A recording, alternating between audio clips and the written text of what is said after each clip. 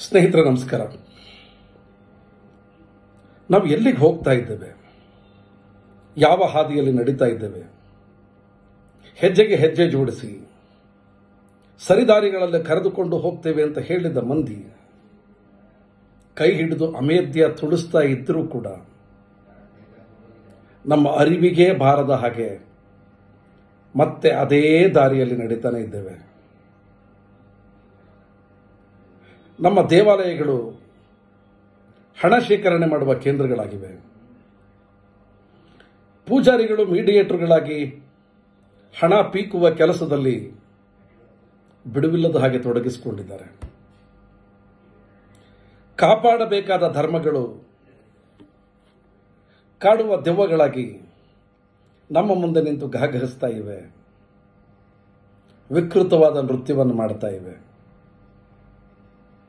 ಜಾತಿ ಜಾತಿಗಳನ್ನು ಆಧರಿಸಿದ ಮಠಪೀಠಗಳು, ಪ್ರಜಾಪ್ರಭುತ್ವದ ನಡುವೆಯೂ ರಾಜರ ಆಸ್ಥಾನಗಳಾಗಿ ಮಾರ್ಪಾಟಾಗ್ತಾ ಇವೆ. ಮಠಾಧಿಪತಿಗಳು ಮಹಾರಾಜರುಗಳಾಗ್ತಾ ಇದ್ದಾರೆ. ಕಿರೀಟದ ಬದಲು ರೇಷ್ಮೆಯ ರುಮಾಲು ಬಂದಿದೆ. ಕೊಂಬು, ಕಹಳೆ, ಜಾಗಟೆ, ಶಂಖಗಳ ಸ್ವಾಗತ ಇದೆ. ಬೆಳ್ಳಿ ದಂಡಗಳನ್ನು ಹಿಡಿದ ಗುರಿಕಾರರು ದಾರಿ ತೋರಿಸ್ತಾ ಇದ್ದಾರೆ. ಹೂ ಚೆಲ್ಲಿದ ಹಾದಿಯನ್ನು ಸಿದ್ಧ ಮಾಡಲಾಗಿದೆ. ಪರಾಕು ಹೇಳಲಿಕ್ಕೆ ಒಂದಿ ಮಾಗದರು ಸನ್ನದ್ಧರಾಗಿ ನಿಂತಿದ್ದಾರೆ. ಸರ್ವಸಂಗ ಪರಿತ್ಯಾಗದ ಸಂಕೇತವಾದ ಸರ್ವಜ್ಞ ಪೀಠದ ಮೇಲೆ ಸರ್ವಾಲಂಕಾರ ಭೂಷಿತರಾದ ಯತಿಗಳು ವಿರಾಜಮಾನರಾಗಿದ್ದಾರೆ. ತೀರಾ ನಿನ್ನೆ ಮೊನ್ನೆ ನಮ್ಮದೇ ಉಡುಪಿಯಲ್ಲಿ ನಡೆದ ಪರ್ಯಾಯ ಇಂಥ ಎಲ್ಲ ಅತ್ಯದ್ಭುತಗಳಿಗೆ ಸಾಕ್ಷಿಯಾಯಿತು ಇದು ವಿಪರ್ಯಾಸವೋ, ವಿಚಿತ್ರವೋ ಗೊತ್ತಾಗ್ತಾ ಇಲ್ಲ. ಗೊಲ್ಲರ ಕೃಷ್ಣ ಮತ್ತು ಕುರುಬರ ಕನಕನ ಆವಾಸ ಸ್ಥಾನವಾದ ಉಡುಪಿಯ ಕೃಷ್ಣ ದೇವಾಲಯ ಈಗ ಈ ಹೊತ್ತಿನಲ್ಲಿ ಕೇವಲ ಒಂದು ಜನಾಂಗದ ಆಡಂಬಲವಾಗಿ ಪರಿವರ್ತ ಪರಿವರ್ತನೆ ಆಗಿ ಹೋಗಿದೆ. ಗೊಲ್ಲರ ಕೃಷ್ಣ ಮತ್ತು ಕುರುಬರ ಕನಕನ ಆವಾಸ ಸ್ಥಾನವಾದ ಉಡುಪಿಯ ಶ್ರೀಕೃಷ್ಣ ದೇವಾಲಯ ಈಗ ಈ ಹೊತ್ತು ಕೇವಲ ಒಂದು ಜನಾಂಗದ ಆಡಂಬಲವಾಗಿ ಪರಿವರ್ತಿತವಾಗಿ ಹೋಗಿದೆ. ಸಕಲರಿಗೂ ಸಲ್ಲಬೇಕಾದ ದೇವಾಲಯ ಮತ್ತು ದೈವಪೀಠ. ಕೇವಲ ಉಡುಪಿಯ ಅಷ್ಟಮಠಗಳ ಪಾಲಾಗಿ ಹೋಗಿದೆ.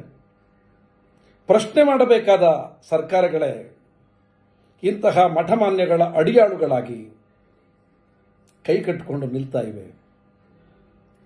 ನಮ್ಮ ರಾಜ್ಯ ಸರ್ಕಾರದ ನಾಚಿಕೆಗೆಟ್ಟ ಸಚಿವೆಯೊಬ್ಬರು ಈ ಪರ್ಯಾಯಕ್ಕೆ ಹತ್ತು ಕೋಟಿ ರೂಪಾಯಿಗಳನ್ನು ಕೊಡುತ್ತೇವೆ ಅಂತ ಡಣಾಡಂಗುರ ಘೋಷಣೆ ಮಾಡ್ತಾರೆ.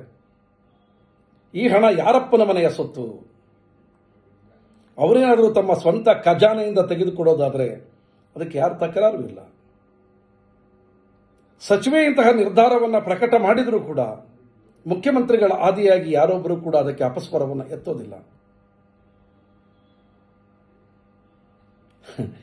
ಇದು ಈ ಕ್ಷಣದ, ಈ ಹೊತ್ತಿನ ಸಮಕಾಲೀನ ದುರಂತ ಅಂತ ಯಾಕೆ ಯಾರಿಗೂ ಅನ್ನಿಸ್ತಾ ಇಲ್ಲ.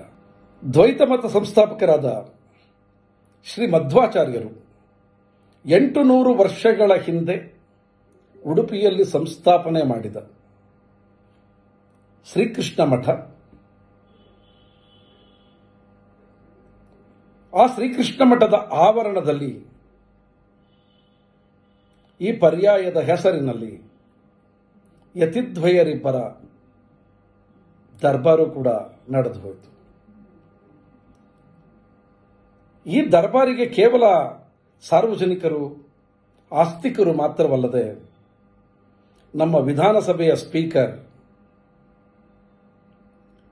ನಮ್ಮ ನಡುವಿನ ಓರ್ವ ಪ್ರಜ್ಞಾವಂತಿಕೆಯ ರಾಜಕಾರಣಿ ಯು ಟಿ ಖಾದರ್, ಮಾಜಿ ಮುಖ್ಯಮಂತ್ರಿಗಳಾದ ಬಿ ಎಸ್ ಯಡಿಯೂರಪ್ಪನವರು, ಕೇಂದ್ರ ಸಚಿವೆ ಶೋಭಾ ಕರಂದ್ಲಾಜೆ ಧರ್ಮಸ್ಥಳದ ಡಿ ವೀರೇಂದ್ರ ಹೆಗ್ಗಡೆ ಸೇರಿದ ಹಾಗೆ ಅನೇಕ ಅಗಣ್ಯರು ಅಗಣ್ಯಾತಿ ಗಣ್ಯರು ಪಾಲ್ಗೊಂಡು ಯತಿದ್ವಯರ ಪಾದ ದರ್ಶನದೊಂದಿಗೆ ತಮ್ಮೆಲ್ಲ ಪಾಪಗಳನ್ನು ತೊಳೆದುಕೊಂಡು ಹೊರಗೆ ಬಂದರು. ಮಠಗಳನ್ನು ಮಾನ್ಯ ಮಾಡುವ ಪರಿ ಎಂಥದ್ದು ಎನ್ನುವುದಕ್ಕೆ ನಮ್ಮ ರಾಜಕಾರಣಿಗಳು, ಗಣ್ಯರು ಹೀಗೆ ಹೋಗಿ ಅವರ ಮುಂದೆ ಕೈ ಕಟ್ಟಿ, ಟೊಂಕ ಬಗ್ಗಿಸಿ, ಗುಲಾಮರಂತೆ ಬಗ್ಗೆ ನಿಲ್ಲೋದಿದೆಯಲ್ಲ? ಇದೇ ದೊಡ್ಡ ಸಾಕ್ಷಿ. ಯತಿ ಅಂದರೆ ಏನು? ಎಲ್ಲವನ್ನ ತ್ಯಜಿಸಿ, ಸರ್ವಸಂಗ ಪರಿತ್ಯಾಗಿಯಾಗಿ ಕೃಷ್ಣ ಜನವನ್ನು ನೆಲವನ್ನು ತಮ್ಮ ಹಾಸನ್ನಾಗಿ ಮಾಡಿಕೊಂಡು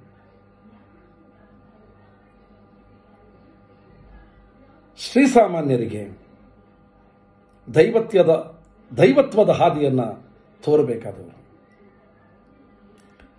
ಆದರೆ ಈಗ ಆಗ್ತಾ ಇರೋದಾದರೂ ಏನು? ಈಗಂತೂ ಯತಿಗಳು ಅಂತಂದರೆ ಪ್ರಧಾನಿಗಳಿಗಿಂತಲೂ ಪ್ರಭಾವಿಗಳು.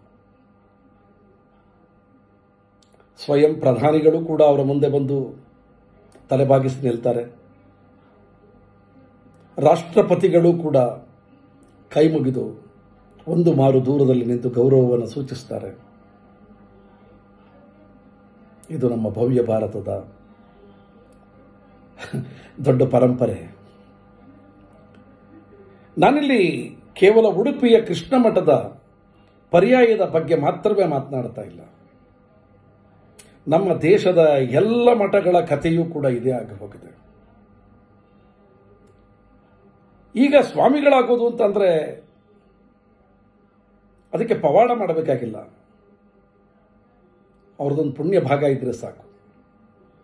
ಸಕಲ ಸುಖಭೋಗಗಳನ್ನು ಅನುಭವಿಸುವುದಕ್ಕೆ ಸಿಗುವ ಮಹಾಭಾಗ್ಯದ ಫಲ ಎನ್ನುವ ಹಾಗೆ ಇವತ್ತು ಮಠಗಳು ಮತ್ತು ಮಠಗಳ ಒಳಗಿನ ಯತಿಗಳು ಆಗಿ ಹೋಗಿದ್ದಾರೆ. ನಾಡಿನ ಎಲ್ಲ ಬಹುಮುಖ್ಯ ದೇವಾಲಯಗಳನ್ನು ಮುಜರಾಯಿಯ ವ್ಯಾಪ್ತಿಗೆ ತೆಗೆದುಕೊಳ್ಳುವ ರಾಜ್ಯ ಸರ್ಕಾರ, ಉಡುಪಿಯ ಕೃಷ್ಣ ಮಠದ ಬಗ್ಗೆ ಮೌನ ವಹಿಸಿರುವುದು ಯಾತಕ್ಕೆ?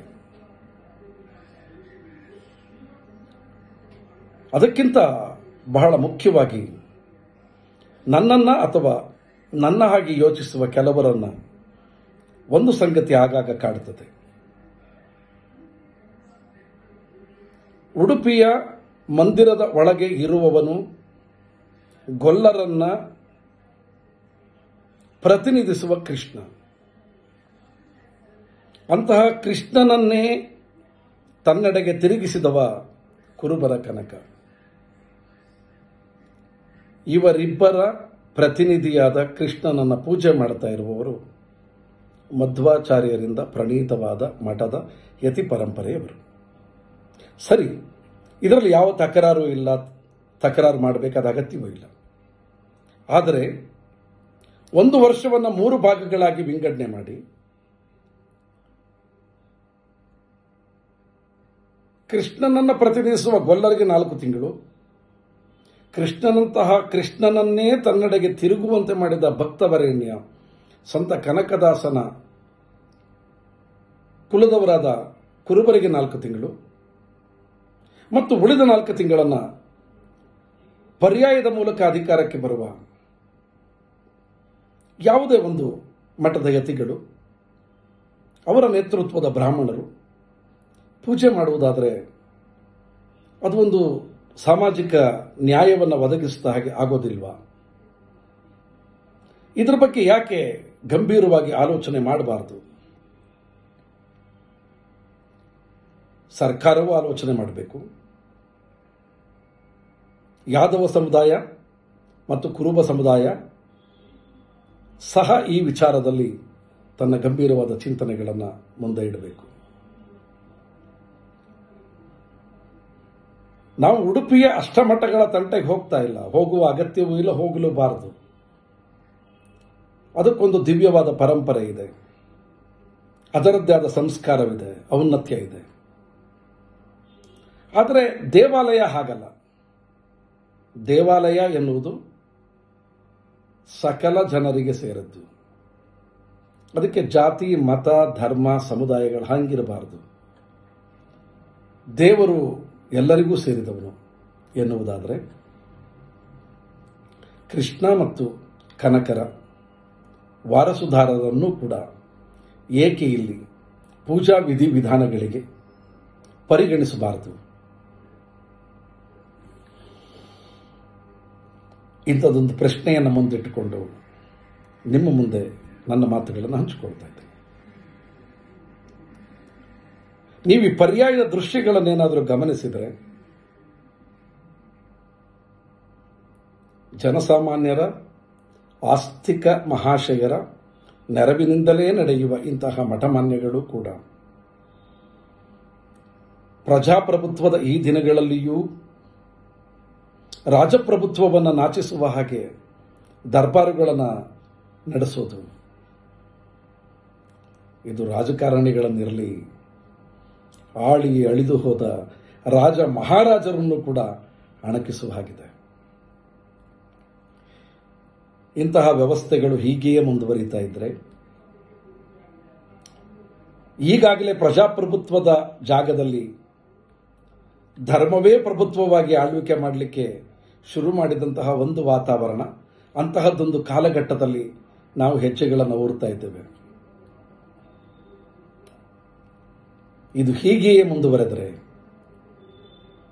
ಮುಂದೊಂದು ದಿನ, ಸಾಮಾನ್ಯ ಜನ, ಇಂತಹ ಮಠಪೀಠಗಳ ಪಾದಪೂಜೆಯಲ್ಲಿಯೇ ಮುಳುಗಿ, ಜೀವನದ ಪಾಠಗಳನ್ನೇ ಮರೆತು ಹೋಗುವಂತಹ ದುಸ್ಥಿತಿಗೆ ಬರುವುದು ತಡ ಆಗಲಿಕ್ಕಿಲ್ಲ. ನಾನು ನನಗೆ ಅನ್ನಿಸಿದ ಕೆಲವು ಸಂಗತಿಗಳನ್ನು ಹೀಗೆ ಹಂಚಿಕೊಳ್ಳುವುದನ್ನು ಕೂಡ ಮಂದಿ ವಿರೋಧಿಸಬಹುದು. ಇದಕ್ಕೆ ಧರ್ಮದ್ರೋಹದ ಲೇಪನ ಮಾಡಬಹುದು. ಬ್ರಾಹ್ಮಣರ ವಿರೋಧಿ ಎನ್ನುವ ಪಟ್ಟವನ್ನು ಕಟ್ಟಬಹುದು.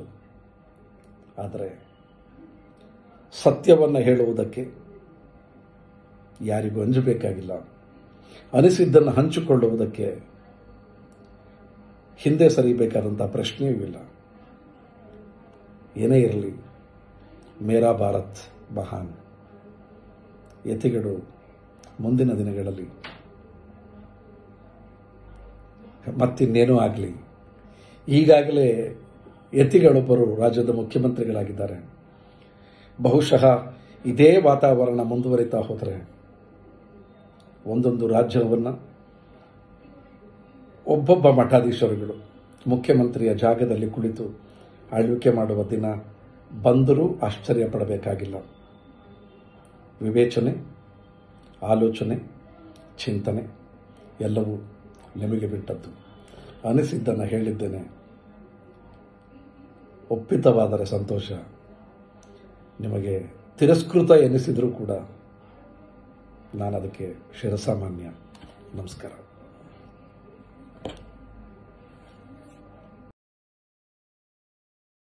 ಹೆಚ್ಚಿನ ವಿಡಿಯೋಗಳಿಗೆ ಪ್ರತಿಧ್ವನಿ ಯೂಟ್ಯೂಬ್ ಚಾನೆಲ್ ಸಬ್ಸ್ಕ್ರೈಬ್ ಮಾಡಿ, ಬೆಲ್ ಐಕಾನ್ ಕ್ಲಿಕ್ ಮಾಡಿ.